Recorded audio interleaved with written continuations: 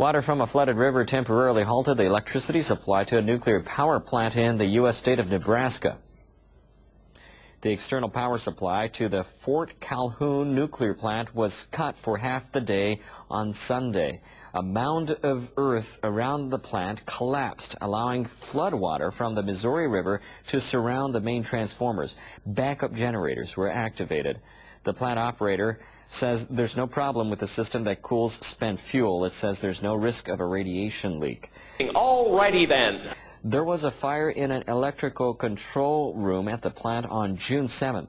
A loss of power for more than one hour caused a slight rise in the temperature in the spent fuel pool.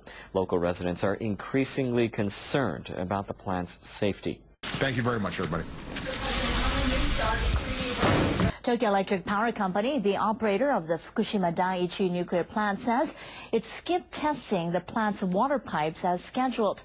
On Monday, TEPCO was forced to suspend a water recycling operation due to leaks. What you talking about, The utility began running the filtering system on Monday, but it had to halt the operation after only 90 minutes as the treated water was leaking from pipes that were not fastened properly. The system is designed to recycle contaminated water to be used to cool the reactors. The operator says it failed to check the four kilometers of piping because it did not find any problem during an inspection more than two weeks ago. The company says it will review that decision. Did some surgery here and took off the inlet, but uh, like Gomer Pyle would say, surprise, surprise, surprise. Circulating the decontaminated water around the reactors is considered an important step in stabilizing them by mid-July as planned. It will also help prevent the volume of wastewater from increasing. TEPCO says it will repair the leaks and hopes to resume the water circulation soon. The operator of the Fukushima Daiichi nuclear plant says tonight it has suspended the injection of decontaminated wastewater into the plant's reactor as a coolant. Only one and a half hour after the operation began, water was apparently leaking from the hose joints. Contaminated water is accumulating in the plant as we speak from the constant stream being injected to cool the reactors.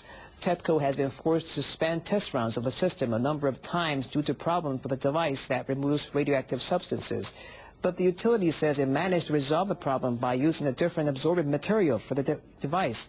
The company says 1,850 tons of contaminated water was cleaned in the test runs, and it says it plans to use this water to cool the reactors. However, radiation is continuing to leak out of the reactors. The situation is not stable at all. An operator of waste incineration plants in eastern Tokyo says it has found a high concentration of radioactive ash at one of its facilities. A plant in Edogawa that handles household garbage detected 9,740 becquerels of radioactive materials per kilogram of ash from a device that filters exhaust fumes. The operator believes that radioactive cesium had built up in the incinerating process. But it says there is no danger of the toxic substances escaping into the environment as they were trapped by the filter.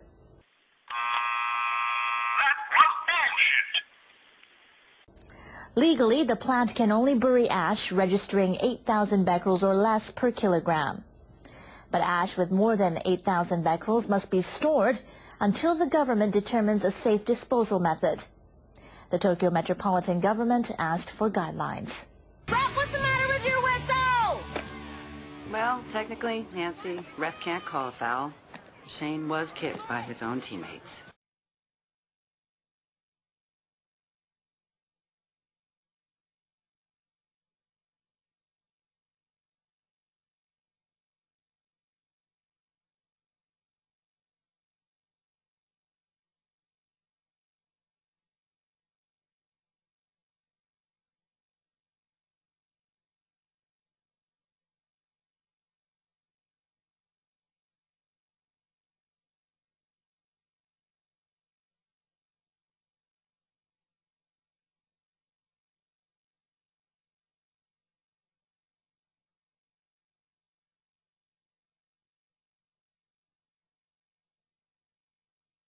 The governor of Yamaguchi Prefecture in western Japan says he won't extend a permit that's necessary for the construction of a local nuclear power plant. This, in effect, means the building of the plant will not go ahead.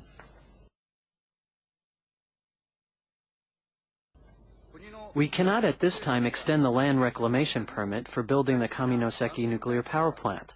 This is because the central government has yet to properly outline Japan's future nuclear policy and specific measures about the safety of nuclear power plants. Chugoku Electric Power Company was seeking to construct the plant in Kaminoseki on the coast of the Seto Inland Sea. The launch was scheduled for 2018. However, a land reclamation project in preparation for the construction has been suspended since the Fukushima accident. The company's current license for the reclamation is set to expire in October next year. and now for something completely different. French President Nicolas Sarkozy has announced that the country will invest 1 billion euros or 1.4 billion dollars to develop a next generation nuclear reactor. That's despite a rising concern about atomic safety after the disaster at the Fukushima Daiichi plant. Parce que si nous gardons le nucléaire, c'est parce que nous gardons notre... Nous voulons... France remains committed to nuclear power to ensure stable and competitive energy supplies. Phénoménal de prix de l'énergie. France is currently constructing advanced European pressurized water reactors. But the country is already looking to develop a next-generation reactor, which is expected to have enhanced energy efficiency and reduced nuclear waste.